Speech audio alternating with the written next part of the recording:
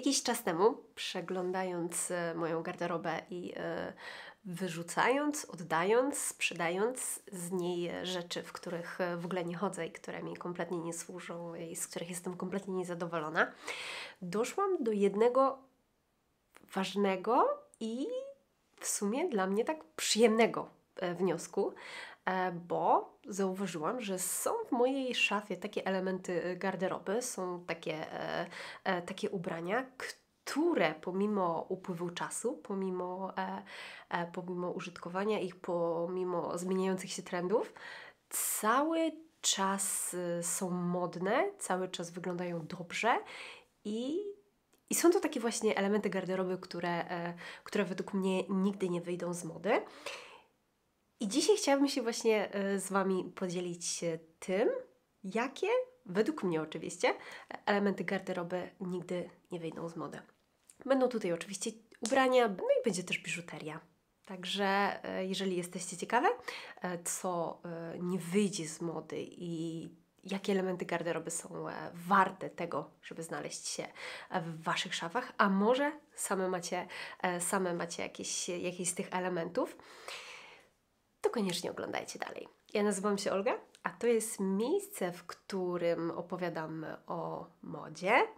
o rozwoju osobistym, o akceptacji siebie i o wielu, wielu innych rzeczach, które są dla mnie ważne. Jak już wspomniałam, elementy, które Wam dzisiaj pokażę, są to elementy, które znajdują się w mojej szafie od dłuższego czasu. E, niektóre z nich znalazły się w ciągu ostatnich dwóch, trzech lat i oczywiście nie jest to nie wiadomo jak długi czas, żeby można było powiedzieć, że dana, e, dana rzecz nie wyjdzie z mody, e, ale to, co też zauważyłam, to jest to, że mm, wiele z tych elementów garderoby modele tych elementów e, cały czas są praktycznie takie same. Ja tylko z czasem wymieniam dany model na jakiś e, inny kolor, bądź e,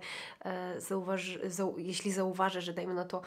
w jakiejś nowej, innej rzeczy, która, która mi się bardziej podoba, są lepsze guziki, czy dajmy na to jest lepsza jakościowo, e, no to wtedy, e, wtedy robię tak, że po prostu, że wymieniam daną rzecz na nową, bo dany model na, na przykład sprawdził mi się świetnie w mojej szafie i, e, i to jest to, co, co bym chciała mieć w swojej szafie. Dlatego tak, po pierwsze to będą właśnie te modele, które, które mi się sprawdziły. Po drugie, główną cechą tych, tych części garderoby, główną cechą każdego z dzisiejszych elementów, które Wam e, wymienię, e, ich główną cechą właśnie jest prostota. No a jak wszyscy dobrze wiemy, prostota jest e, szczytem wyrafinowania i ja też to zauważyłam po sobie, że lubię takie proste, czasem nawet minimalistyczne, minimalistyczne rzeczy, bo w ich przypadku mam też taką świadomość tego, że one dłużej się zachowają w mojej szafie i będą e, elementami, które będą dobrze współpracować z innymi częściami garderoby. I to tutaj też ma dla mnie zawsze kluczowe znaczenie, i właśnie to jest jedną z takich zalet tych elementów, o których będę dzisiaj opowiadać, to, że są to po prostu, że są, że są to proste, e, proste elementy garderoby, które e, nie mają jakichś specjalnych udziwnień i na pewno nie są to też elementy, które są jakoś tam osadzone w trendach, które są e, bardzo na topie, czyli na przykład oversize'owe marynarki albo sztybre, sztyblety na grubej podeszwie. Tego tutaj na pewno nie będzie. No i nie będzie też takich typowych jakichś dekoracji, które na co dzień nie zawsze się sprawdzają. I to, co jeszcze w sumie mogę powiedzieć na temat tych elementów, to to, że, y, że są to właśnie takie części garderoby, które zawsze e, zakładam z wielką przyjemnością i, e, i są to w sumie elementy, bez których ja nie wyobrażam sobie swojej szafy. I uważam, jestem pewna, jestem przekonana, że będę je nosić przez następne, przez następne lata, bo, bo są to właśnie takie rzeczy, które nie wejdą z mody. I pierwszą rzeczą, która e, sprawdza się świetnie w mojej szafie i która nie wychodzi z mody,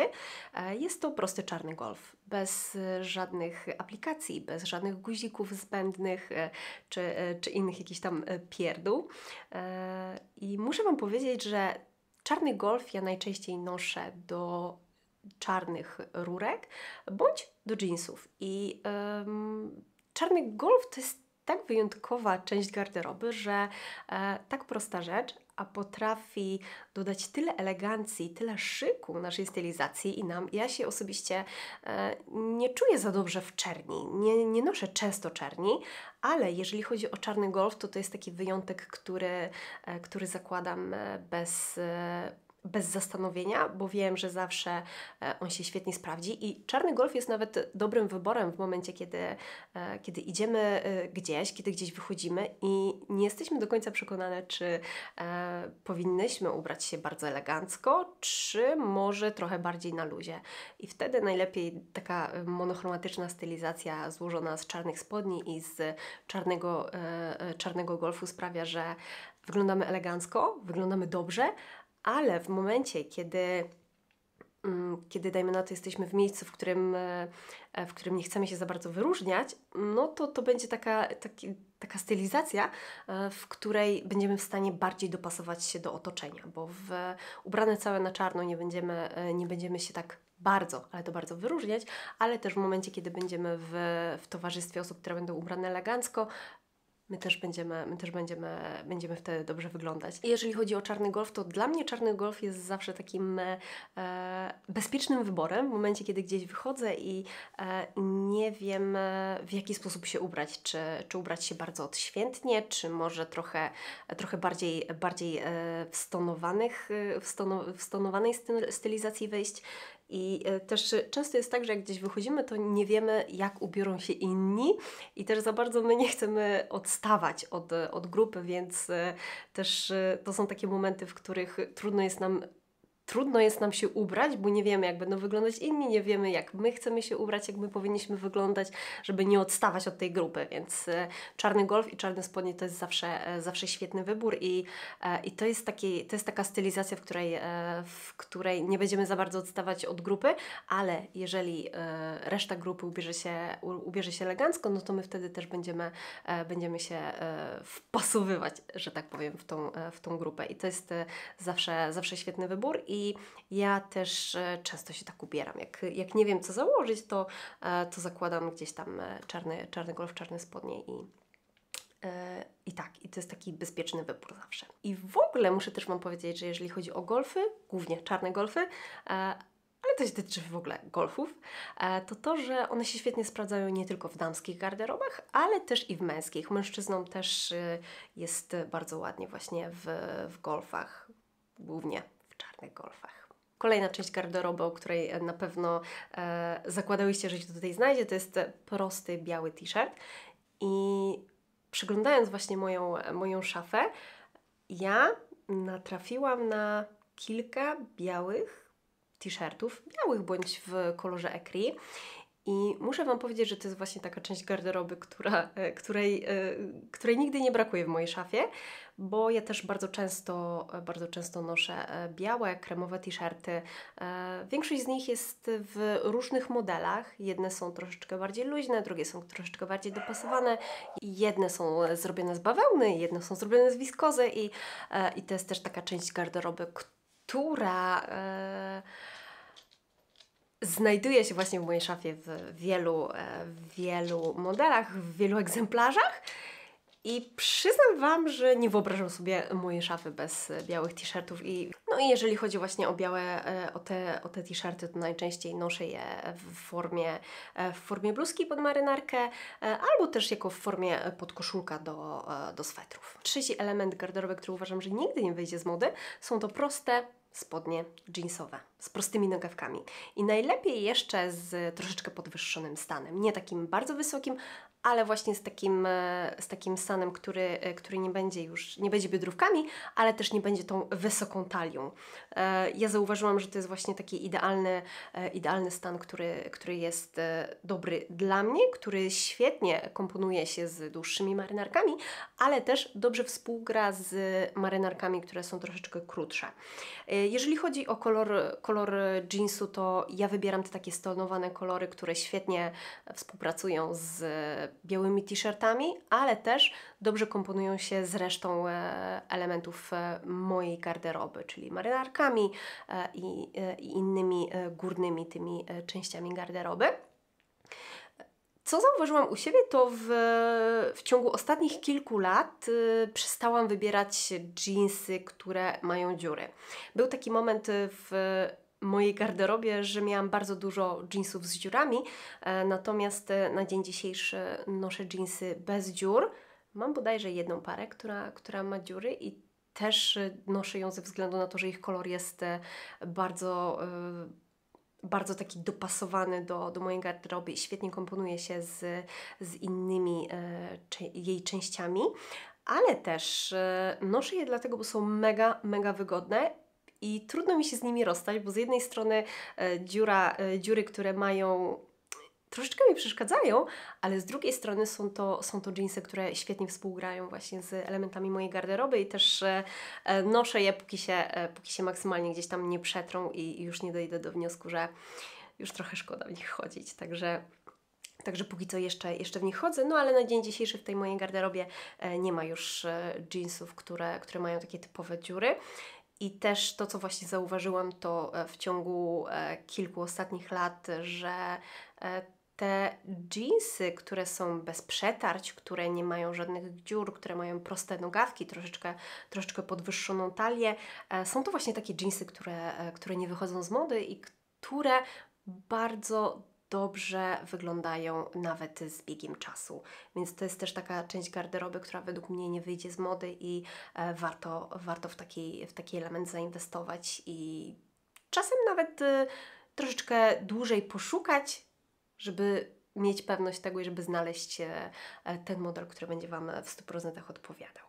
A skoro już jesteśmy przy spodniach, to tutaj też e, na pewno nie będziecie zdziwione, kiedy powiem, że kolejnym elementem garderoby który nigdy nie wyjdzie z mody, są czarne woskowane spodnie. O nich mówiłam już w ostatnim, w ostatnim filmie i też jak gdzieś tam e, mówię o czarnych woskowanych spodniach, to Tołaszek już się nawet ze mnie śmieje, bo on już pamięta te czarne woskowane spodnie. E, ale tak, to jest taki element garderoby, który w mojej szafie jest przez e, ostatnich kilka lat i ja co kilka lat wymieniam te woskowane spodnie na nowe, bo no niestety ta, ten ta woskowana część, która jest na spodniach, ona po wielu praniach się coraz bardziej, e, coraz bardziej spiera i, e, i po dłuższym czasie użytkowania e, po prostu takie spodnie już nie wyglądają dobrze. W moim przypadku jest to zwykle 3-4 lata, gdzie ja uważam, że i tak 3-4 lata noszenia spodni to jest całkiem dobry, całkiem dobry czas na, na wymianę je na nowe. E, natomiast jeżeli chodzi właśnie o czarne woskowane spodnie, to z takimi spodniami jest tak samo jak z czarnym golfem, że to jest taki element garderoby, który e, nie wyjdzie z mody, nie wychodzi z mody, zawsze wygląda dobrze i ja osobiście uwielbiam, e, uwielbiam właśnie takie model, takie, takie spodnie ze względu na to, że ja e, widzę, że one dobrze, dobrze pracują z proporcjami mojej sylwetki, że te moje nogi są takie bardziej wysmuklone, bardziej e, Y, lepiej się, lepiej się po prostu prezentują i, i to jest właśnie ten element garderoby, który mi, e, który mi się świetnie sprawdza i który bardzo lubię. I też dlatego uważam, że to jest taka, taki element garderoby, który nie wyjdzie, nie wyjdzie z mody. E, no a też patrząc po mojej szafie, e, kiedy te spodnie gdzieś tam cały czas się, cały czas się przez, nią, e, przez nią przewijają, to też jest taki, taki znak, że ten element garderoby jest na topie i że, i że on się po prostu dobrze nosi, dobrze komponuje z, z wieloma, wieloma częściami garderoby.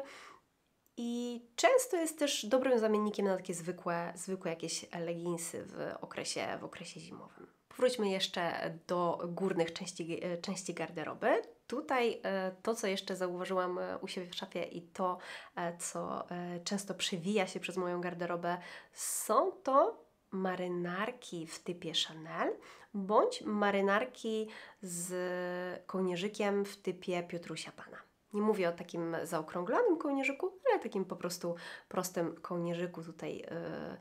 wyciętym na, na trójkącik. I to są takie elementy, elementy garderoby, które gdzieś tam przewijają się cały czas w mojej, w mojej szafie. I zauważyłam, że to, co najbardziej mi odpowiada, to te takie skrócone modele marynarek, które, e, które po prostu sięgają do talii. Nie mówię o marynarkach typu cropped, które są, e, które są po prostu do samej talii, ale mówię o tych, które sięgają gdzieś tam delikatnie do bioder, poza talię. I to jest taki właśnie też element garderoby, który się świetnie sprawdza i który bardzo dobrze wygląda. Mało tego, z takim elementem, garderoby można świetnie pracować na proporcjach, bo w momencie, kiedy zakładamy troszeczkę, e, troszeczkę krótszą tą marynarkę, tą taką e, do, do szerokości, do wysokości bioder, wtedy też, e, jeżeli dajmy na to założymy, czy spódnicę z wyższym stanem, czy spodnie z troszkę wyższym stanem, to optycznie sobie e, wydłużamy, wydłużamy nogi e, i sprawiamy, że ta nasza sylwetka jest, e, jest troszeczkę dłuższa, że po prostu, że że optycznie sprawiamy, że jesteśmy i wyższe i że mamy po prostu dłuższe nogi. To jest też takie fajne, fajna praca na proporcjach. A jeżeli chodzi właśnie o marynarki, to to, co w sumie w mojej, w mojej garderobie się sprawdza od dłuższego czasu, no to oczywiście tkaniny takie ala tweedowe, takie tkaniny tkaniny trochę buckle, e, które, które wyglądają e, na takie mięsiste, które są mięsiste i e, to są właśnie takie elementy, które, które świetnie się sprawdzają w mojej szafie i które ja też bardzo lubię. Jeżeli chodzi w ogóle o marynarki, to tutaj te modele są troszeczkę bardziej skomplikowane, bo jakby nie patrzeć w ostatnim czasie, jeżeli patrzymy przez czas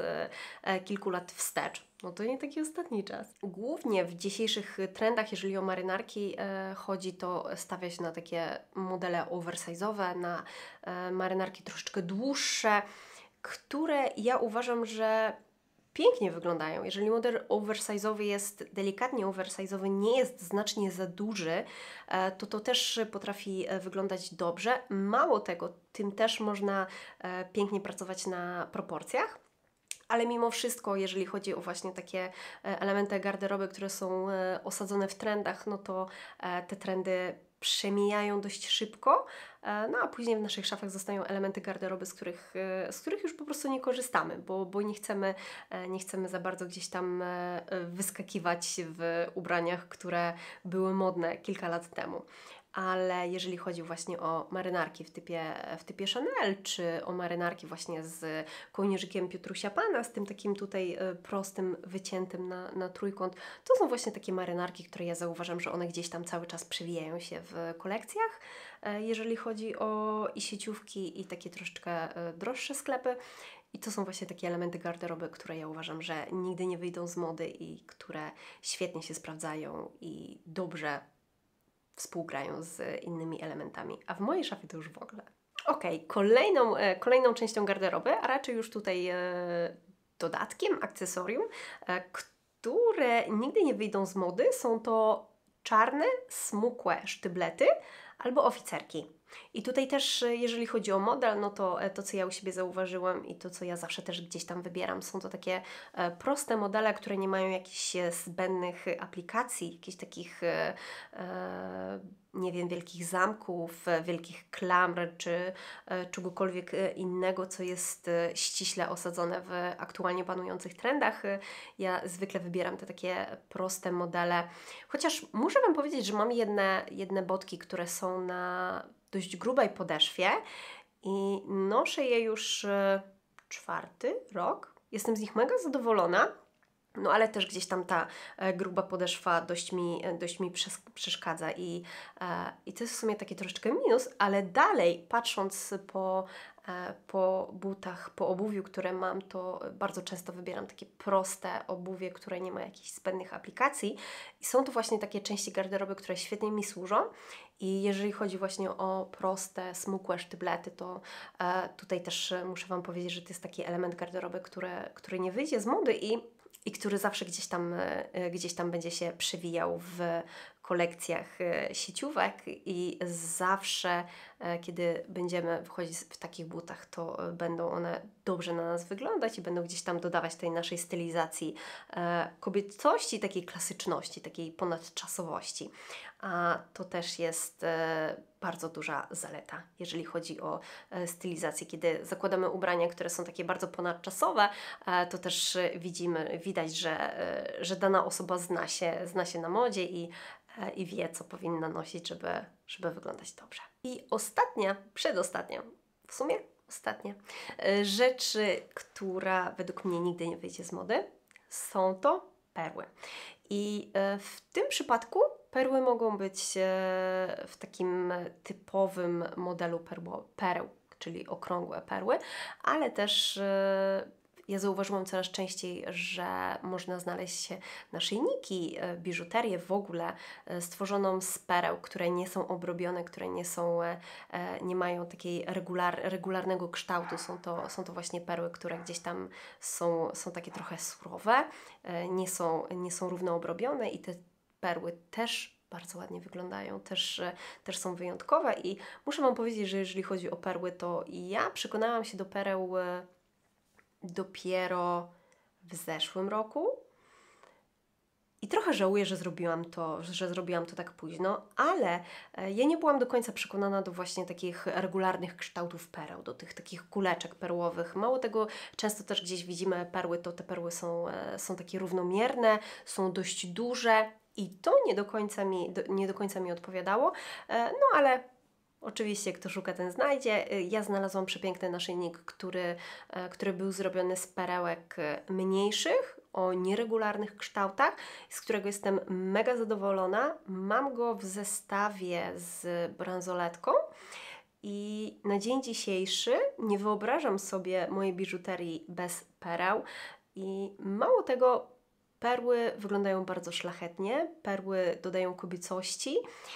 ale też to jest, taki, to jest taka część, to jest taka biżuteria, taka część, która, e, która sprawia, że, że my same się jakoś tak czujemy lepiej. Ja jak noszę perły, to, e, to mam, mam jakieś takie poczucie, że noszę na sobie coś takiego szlachetnego, że, e, że wygląda to po prostu ładnie i sama bardzo dobrze się czuję, czuję z perłami. No i jeżeli chodzi w ogóle o biżuterię, to tutaj też warto, żebym wspomniała, że Delikatna biżuteria jest kluczem do dobrej stylizacji, bo jeżeli chodzi o biżuterię, to bardzo łatwo jest przedobrzyć, bardzo łatwo jest e, wykorzystać za dużo. A w momencie, kiedy nosimy za dużo biżuterii, kiedy nosimy e, za dużo naszyjników, e, za dużo bransoletek, i ja też przechodziłam przez taki ekras, ekras I ja też przechodziłam przez taki etap w życiu, w którym nosiłam e, cztery bransoletki na raz, yy, trzy łańcuszki w tym samym momencie. Ale później jakoś tak po dłuższym czasie doszłam do wniosku, że po co ja mam nosić trzy, yy, trzy łańcuszki, kiedy kiedy założę jeden z ładnym wisiorkiem bądź z perełką i wyglądam w tym lepiej i czuję się z tym lepiej niż, e, niż w trzech łańcuszkach, które przykuwają bardzo dużo, bardzo dużo uwagi i nie są, e, e, nie są tak wyrafinowane, nie wyglądają, nie wyglądają po prostu klasycznie, prosto. E, I tak, i wtedy po prostu doszłam do wniosku, że, że może czas trochę zmienić swoje gusta. I muszę Wam powiedzieć, że jeżeli chodzi o delikatną biżuterię, jeżeli jest ona bardzo dobrze dobrana, jeżeli, e, jeżeli jest ona właśnie delikatna, to im bardziej jest delikatna, tym bardziej przykuwa ona czyjąś uwagę. I to, co ja zauważyłam, to część, w momencie, kiedy zakładam e, jedną, e, jedną perełkę z, na, z naszyjnikiem, e, wtedy otrzymuję więcej komplementów i więcej osób mówi, że bardzo ładnie to wygląda, że, że, że danej osobie się to podoba, niż jak na przykład nosiłam trzy czy, czy cztery łańcuszki na raz. I wtedy w tamtym momencie też mi się to podobało, ale na dzień dzisiejszy jakoś tak e, z jedną perełeczką e, czy z, jednym, e, z jedną cyrkonią na szyi czuję się o wiele lepiej i, i w danym momencie czuję się bardziej sobą. I jeżeli chodzi w ogóle o te części garderoby, które Wam dzisiaj przedstawiłam, no to są to właśnie te części garderoby, które, które są w mojej szafie od dłuższego czasu i które, mm, które przewijają się przez nią cały czas. Są to właśnie te elementy garderoby, z których jestem mega zadowolona, które, które właśnie uważam, że, że będę jeszcze je nosić przez długi, długi czas i, i będą, mi, będą mi służyć. To, co w sumie muszę Wam powiedzieć, co tak e, myślałam sobie, zanim zaczęłam nagrywać ten film, to to, że prostota jest szczytem wyrafinowania. Wszyscy o tym wiemy, ale mimo wszystko gdzieś tam z tyłu głowy cały czas mamy takie, mamy takie myślenie, że e, że trochę nam nie tyle głupio, co niekomfortowo czujemy się, kiedy, e, kiedy wykorzystujemy takie proste rozwiązania, które notabene są dla nas najlepsze. I ja na przykład zauważyłam u siebie to, że e, często próbuję gdzieś tam niektóre rzeczy skomplikować, mimo tego, że wiem, że dana, e, dana rzecz najlepiej będzie wyglądać w prostym, prostym zestawieniu i będzie wyglądać bardziej wyjątkowo niż w momencie, e, w którym bym się gdzieś tam e, popchnęła do rozwiązań, których, e, których na co dzień bym gdzieś tam nie wybrała. I to, co ja zauważyłam w swojej szafie i po ubraniach, które, które gdzieś tam też z niej wyleciały, to to, że proste elementy garderoby często są najlepszym wyborem. Mało tego, one połączone ze sobą e, sprawiają, że te stylizacje są takie ponadczasowe, są eleganckie, są kobiece, ale mimo to, że ja mam świadomość, że ta prostota jest zawsze najlepszym wyborem, to mam coś takiego, co mnie pcha w takie ciągłe gonienie za byciem ekstra. Że, że zamiast wybrać prostą stylizację, ja mam w głowie jakiś taki ciąg, popęd do bycia, bycia ekstra, do ubierania rzeczy, które, które nie są jakąś tam częścią mnie, że to nie jest, że to nie jest coś, co sprawia, że ja, że to jestem ja. O, tak bym powiedziała. Że mamy jakąś tam, pre, że dlaczego nie wybierać tych prostych rozwiązań, które są zawsze sprawdzone i które są najlepsze, a wybierać te, te rozwiązania, które, w których nie do końca czujemy się dobrze. No, to jest, to jest w sumie dobra myśl. Taka myśl, że, że gdzieś tam czujemy tą presję na, na ciągłe bycie ekstra, zamiast być po prostu